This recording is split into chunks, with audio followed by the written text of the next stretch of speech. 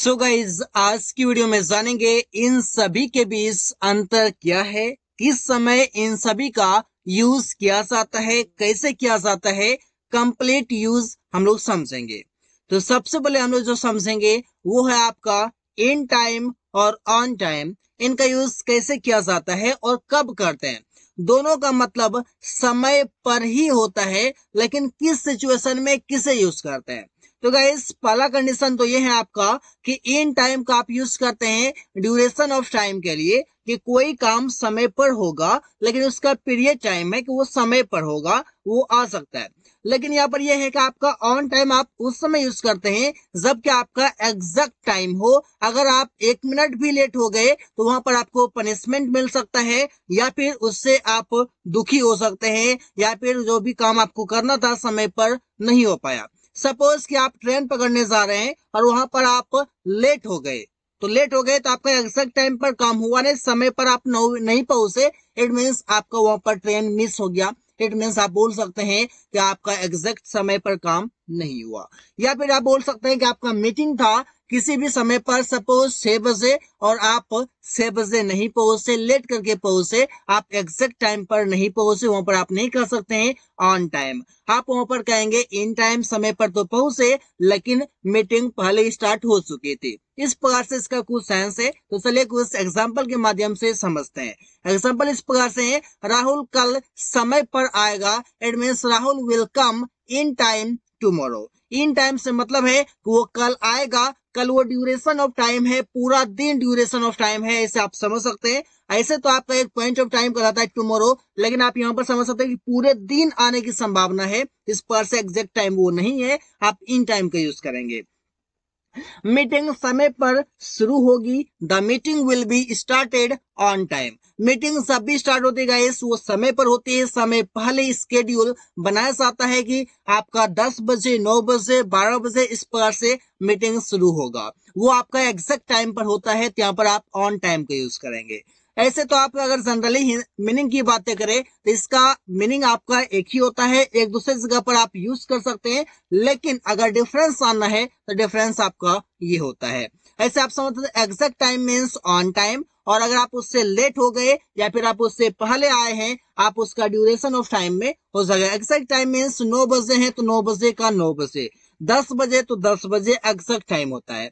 इसी प्रकार से मैं समय पर उठता हूँ तो I get up in time आप बोलेंगे, क्योंकि ऑन टाइम आप नहीं बोल सकते, क्योंकि कभी कभी लेट भी हो सकता है कभी कभी हम पहले भी उठ जाते हैं। तो यहाँ पर आप ऑब्वियसली आप यहाँ पर इन टाइम का यूज़ करेंगे। इसी प्रकार से प्रिया रोज समय पर स्कूल जाती है। Priya goes to school on time आपको यहाँ पर बोलना है। ऑन टाइम आपको इसलिए बोलना है क्योंकि स्कूल का टाइम होता है नाइन थर्टी तो आप नाइन थर्टी में ही जाते हैं, आप लेट नहीं जाते। अगर आप लेट हो जाते हैं, आप वहाँ पर ऑन टाइम नहीं बोलेंगे, आप वहाँ पर इन टाइम बोलेंगे। इट मीन्स आप एग्जैक्ट टाइम पर वहाँ पर नहीं पहुँचते हैं। तो गाइस ऐसे प्रकार से आप आगे समझते हैं। आगे आपका है बाय सिक्स ओ और है दूसरा आपका एट सिक्स ओ क्लॉक दोनों का तो हिंदी मतलब होता है छह बजे। लेकिन मैटर ये है कि इसके बीच डिफरेंस क्या है? तो डिफरेंस आपका इस प्रकार से है कि बाय सिक्स ओ क्लॉक तब आप बोलते हैं सब आप बोलते हैं छह बजे तक। छह बजे तक की जब आप बातें करते हैं तो उसमें आप बाय सिक्स ओ क्लॉक बोलते हैं और जब आप बोलते हैं छह बजे सिर्फ़ तो आप बोलते हैं at six o'clock it mean आप अगर मैं बताऊँ तो एग्जैक्ट टाइम की बात अगर करें तो वहाँ पर आप एट का यूज़ करते हैं और जब आप तक के साथ यूज़ करें, उस समय आप बाय का यूज़ करते हैं। तो एग्ज़ाम्पल इसी प्रकार से होगा कि राहुल छह बजे तक आएगा, राहुल विल कम अब तक यहाँ पर आया हुआ है, आप बोलेंगे बाय सिक्स ओ क्लॉक इसी प्रकार से हम लोग छह बजे तक स्टेशन पहुँच गए। It means we reached the station by six o'clock छह बजे तक। तक यहाँ पर आ रहा है तो आप यहाँ पर यूज़ कर सकते हैं बाय सिक्स ओ क्लॉक इस बार से टाइम आप सेंस भी कर सकते हैं।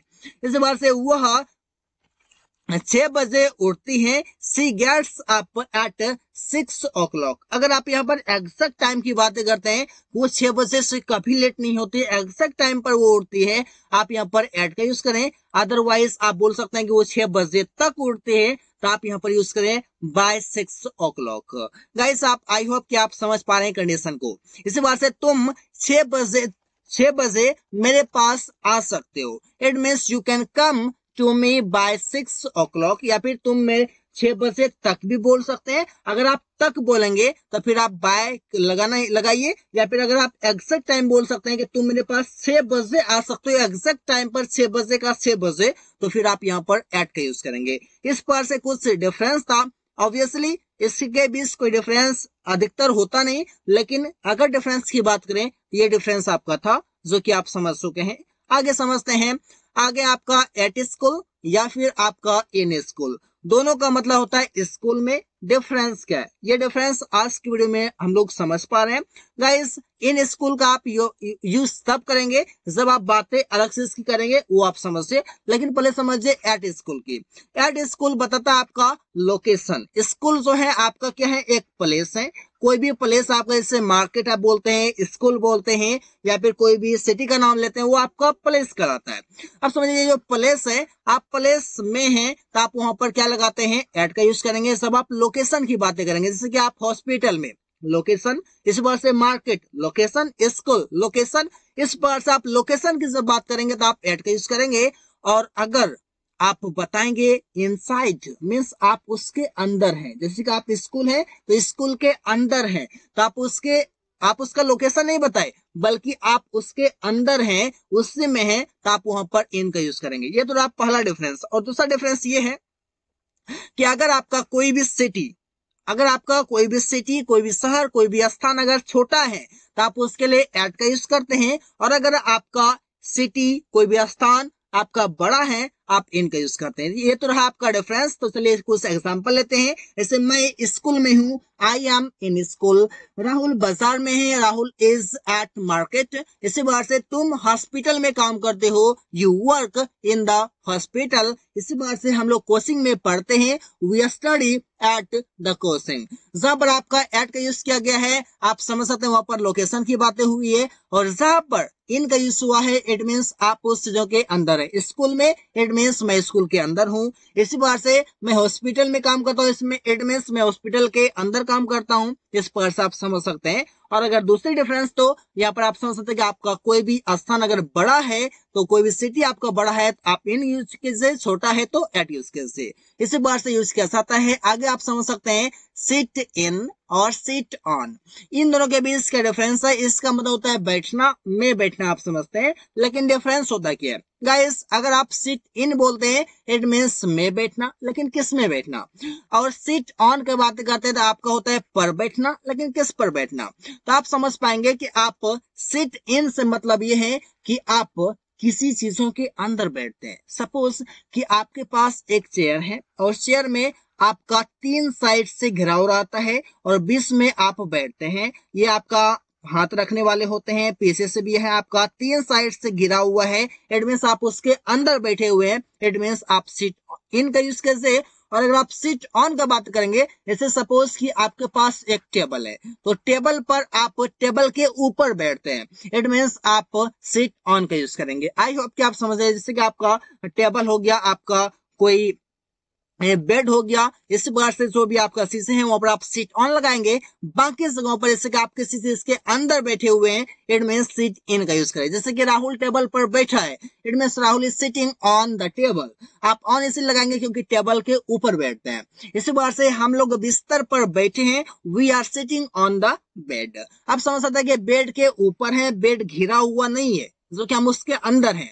टेबल घिरा हुआ नहीं है, जो कि हम उसके अंदर है। वो आपका सिंपली सीधा आता है, आपका ब्रेन्स हो गया, टेबल हो गया ये सब आपका क्या होता है? आप उसके ऊपर बैठते हैं सब भी आप बैठते हैं। इस पर से आप समझ सकते हैं। आगे तुम कुर्सी पर बैठे थे you are sitting in the chair अब ये कुर्सी जब रहता है, आपका वो तीन साइड से घिरा हुआ रहता है। इट मीन आप उसके अंदर है इनका यूज़ कैसे इस बात से मैं अपने कमरे में बैठा हूँ I am sitting in my room अब ये रूम जो है रूम आपका चारों साइड से घिरा हुआ है और गेट है। इट मीन आप समझते हैं, वो आपका घिरा हुआ है और आप उसके अंदर हैं तो इनका यूज़ कर सकते हैं।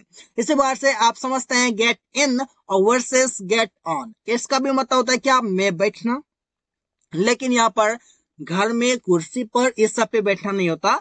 गेट इन का यूज़ जब आप करते हैं तो इसका मतलब ये है कि in small place it mean यहाँ पर छोटे स्थान की बातें होती है। जब आप कहीं पर ट्रांसपोर्ट की बातें करते हैं ट्रेवल की बातें करते हैं, जैसे आपका कार ऑटो यहाँ पर छोटे छोटे छोटे गाड़ियाँ होती हैं, वहाँ पर उसमें जो जगह कम होती है, बैठते हैं तो आप उसमें अधिक जगह नहीं रह पाती, बैठते हैं तो जगह फुल हो जाती है, आप समझते हैं वहाँ पर, जैसे आपका कार। कार में अधिक जगह नहीं होता, ऑटो में भी जगह नहीं होता, बैठने के बाद आपका पूरा पेक हो जाता है, समझ सकते हैं। तो आप वहाँ पर गेट इन का यूज़ करेंगे और गेट इन ऑन का यूज़ वहाँ पर करेंगे, जहाँ पर आपका इन बिग प्लेस पर आपका बड़ा जगह जैसे ट्रेन ट्रेन में सब आप जाते हैं तो क्या होता है ऊपर पूरा पैक नहीं हो जाता, उसमें कई सारे लोग आ जाते हैं, उसमें फिर भी पैक नहीं होता, क्योंकि ट्रेन बड़े होते हैं।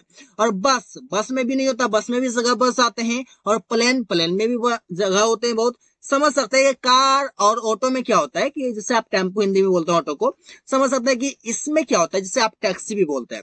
समझिएगा, इसमें ये होता है कि आपको बैठने के बाद आप पूरा उसमें पैक हो जाते हैं, एकदम समझ सकते हैं कि उसमें जगह नहीं बचता। आपके सिर भी और उसका जो ऑटो या कार के जो ऊपर वाला होते हैं साइड, उसमें आपके सिर लगभग सटने के करीब हो जाते हैं, लेकिन बस, ट्रेन, प्लेन इस सब में ऐसा कुछ नहीं होते हैं। समझ सकते हैं इसमें जगह बड़े होते हैं। एग्ज़ाम्पल देखिए, जैसे कि राहुल को कल मैंने कार में बैठते हुए देखा। It mean I saw Rahul getting in the car yesterday इसी बार से वह ऑटो में बैठी है। She is getting in auto इस प्रकार से बोल सकते या फिर आप यहाँ पर टैक्सी का भी यूज़ कर सकते हैं इस इस बार से मैं ट्रेन में बैठकर मुंबई गया। I went to Mumbai by getting on the train. Get on का यूज़ किए हैं आप यहाँ पर समझ सकते हैं क्योंकि इस जगह बड़ी की बातें हो रही है। सुमन बस में आ, अभी बैठा है। Suman is getting on the bus now या फिर राइट नाउ इस पार्ट से सेंटेंस को आप इसलिए बना सकते हैं। आगे से बाहर से get out versus get off इसका दोनों का मतलब होता है आपका उतरना होता है। उतरने के सेंस में करते हैं। गेट आउट मीन्स निकलना भी होता है लेकिन यहाँ पर निकलना का कोई मतलब यहाँ पर नहीं है। गेट आउट मीन्स उतरना भी होता है गेट ऑफ़ मतलब भी उतरना होता है, लेकिन किसी वाहन से उतरने के लिए आप यूज़ करते हैं। तो समझ लिए कुछ एग्जांपल जैसे कि गेट आउट का यूज़ आप तब करेंगे जब आप कार या ऑटो या टैक्सी से आप उतरते हैं, उसमें आप गेट आउट का यूज़ करते और जब आप ट्रेन, बस, प्लेन, इस सबसे उतरते हैं, बड़ी गाड़ियों से उतरते हैं, बड़े आपका जो वाहन होते हैं उससे उतरते हैं, आप वहाँ पर गेट ऑफ़ का यूज़ करेंगे। एग्ज़ाम्पल देखिए, जैसे कि राहुल कल ट्रेन से उतरा। Rahul got off the train yesterday इसी बार से मैं कल कार से उतरा। I got out the car yesterday इसी बार से ऑटो से जल्दी उतरो। गेट आउट द ऑटो या फिर गेट आउट द टैक्सी इस पर्स आप यूज़ कर सकते हैं बहुत ही इजी वे में। राहुल कल बस से उतरेगा। Rahul will get off the bus tomorrow इस पर से सेंटेंस आप इसलिए कई सारे बना सकते हैं गाइस इसी प्रकार से आगे आपका एक्सेप्ट वर्सेस एक्सेप्ट दोनों को प्रोनाउंस हम एक ही तरह से करते हैं, दोनों के मीनिंग अलग अलग होते हैं अलग अलग सेंस में यूज़ किया जाते हैं। पहला आपका एक्सेप्ट जो है, उसका मतलब होता है स्वीकार करना, और एक्सेप्ट जो है, इसका मतलब होता है आपका के सिवाय को छोड़कर। एग्ज़ाम्पल देखिए, सबसे पहले समझते हैं एक्सेप्ट मीन्स स्वीकार करना, और एक्सेप्ट मीन्स के सिवाय। एग्ज़ाम्पल इस प्रकार से होगा कि राहुल रवि का निमंत्रण स्वीकार नहीं किया। नेगेटिव सेंटेंस है तो बनेगा sentence Rahul did not accept Raviz. यहाँ पर देखिए, राहुल राहुल ने क्या किया? रवि का निमंत्रण तो रविज इनविटेशन इनविटेशन मीन्स निमंत्रण या फिर आमंत्रण, ऐसे समझ सकते हैं। मैं तुम्हारी बातों को स्वीकार करता हूँ। I accept your words accept means स्वीकार करना। और दूसरा एक्सेप्ट जो है एग्ज़ाम्पल देखिए। राहुल अंग्रेज़ी के सिवाय कई सारी भाषाएँ जानता है। मतलब कि राहुल अंग्रेज़ी के सिवाय अंग्रेज़ी को छोड़कर सभी कई सारी भाषाएँ जानता है। तो सेंटेंस बनेगा, Rahul knows many languages except English it means अंग्रेज़ी के सिवाय अंग्रेज़ी को छोड़कर। इस पर से बोल सकते हैं, आप सेंस कर सकते हैं, हिंदी के सिवाय, मराठी के समय गुजराती के सिवाय, इसे आप सेंस कर सकते हैं। मैं तुम्हारे सिवाय तुम्हारे घर में सभी को जानता हूँ। तो सेंटेंस बनेगा I know all I know all मैं सभी को जानता हूँ इन योर हाउस तुम्हारे घर में एक्सेप्ट यू तुम्हारे सिवाय तुम्हें छोड़कर। आप शायद यहाँ पर एट का भी यूज़ कर सकते हैं, क्योंकि यहाँ पर स्मॉल प्लेस की बातें हो रही है एट का यूज़ भी आप कर सकते हैं। इसी प्रकार से गाइस आगे आपका लूज वर्सेस लूज आप समझिएगा इसका कैसे बनाया जाता है? आप समझिएगा एक इसका मतलब होता है लूज इसका मतलब होता है ढीला करना या फिर ढीला समझ सकते हैं यहाँ पे इसका मतलब होता है लूज इसका मतलब होता है आपका खोना। लॉस बोलते हैं ना आप, खोना। इस बात से देखिए, समझिएगा कि आप कैसे इसका यूज़ करते हैं। एग्ज़ाम्पल इस बार से होगा, रस्सी थोड़ा ढीला करो। मतलब क्या? Loose the rope a bit a bit means थोड़ा। इसी बार से अपना बेल्ट ढीला करो। मीन्स लूज योर बेल्ट इस बार से बोलते हैं। आप आगे हैं, मैंने अपना फ़ोन कल खो दिया। It means I lost my phone yesterday इस पार्सल सेंटेंस को आप बनाते हैं। राहुल, यह बाइक खोना नहीं चाहता है। Rahul does not want to lose या फिर लूज बोलते हैं दिस बाइक इस प्रकार से कई सेंटेंसेस आप इसलिए बना सकते हैं। आगे है आपका एस्योर वर्सेस एंश्योर। ये दोनों का जो मतलब है, दोनों का मतलब होता है भरोसा दिलाना, लेकिन इसके बीच कुछ डिफरेंसेस हैं, वो समझिएगा। इनका डिफरेंस ये है कि आपका एस्योर का यूज़ आप तब करते हैं भरोसा दिलाना के सेंस में, जहाँ पर कि आपका गारंटी नहीं है हंड्रेड परसेंट ट्रू नहीं है, वहाँ पर आप यूज़ करते हैं एस्योर का। और जहाँ पर एंश्योर का मतलब होता है भरोसा दिलाना, लेकिन यहाँ पर है हंड्रेड परसेंट गारंटी होता है एंश्योर की जो जहाँ पर यूज़ की जाती है it mean hundred percent guarantee है कि वो भरोसा जो दिलाता है, भरोसा जो दिला रहा है इट मीन वो काम हंड्रेड परसेंट है, इस पर से आप समझ सकते हैं। एग्ज़ाम्पल से आपको समझ आएगा इसे मैं तुम्हें भरोसा दिलाता हूँ कि राहुल यह काम पूरा कर देगा। समझेगा सेंटेंस बन रहा है I assure you that Rahul will complete this work it means हो सकता है कि राहुल यह काम कंप्लीट ना भी कर पाए। गारंटी नहीं है, यहाँ पर आपका संभावना बताई। जा रही है आपका पॉसिबिलिटी है, या हंड्रेड परसेंट ये ट्रू नहीं है तो आप यहाँ पर एश्योर का यूज़ करेंगे। इसी प्रकार से मैं तुम्हें भरोसा दिलाता हूँ कि तुम मैच जीत जाओगे। अब गारंटी तो नहीं है, भरोसा दिला रहा हूँ, ठीक है, लेकिन गारंटी नहीं है। आप यहाँ पर यूज़ करेंगे एश्योर का। आई एश्योर मैं भरोसा दिलाता हूँ, तुम्हें आई एश्योर यू मैं तुम्हें भरोसा दिलाता हूँ that you will win the match तुम मैच जीत जाओगे गारंटी नहीं है। जहाँ पर एश्योर की बातें हो है हंड्रेड परसेंट ट्रू नहीं है। पॉसिबिलिटी है हो भी सकता है नहीं भी हो सकती है। लेकिन एंश्योर का जहाँ पर आप यूज़ करते हैं हंड्रेड परसेंट ट्रू है गाइस इस पर सब समझ सकते हैं। तो मैं सभी को भरोसा दिलाता हूँ कि सभी लोग अंग्रेज़ी सीख जाओगे। कब? When you work a lot when you learn English, when you practice, when you try to speak English, guys. You can speak English as well.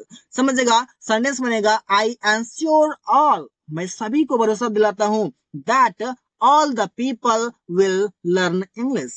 इस पार्ट से आप समझ सकते हैं आंसर मीन्स आपका गारंटी है एकदम पक्का होगा तो होगा इस पार्ट से मैं तुम्हें भरोसा दिलाता हूँ कि मैं तुम्हें सभी पैसे दूँगा इट मीन्स गारंटी है हंड्रेड परसेंट मैं तुम्हें पैसे दूँगा।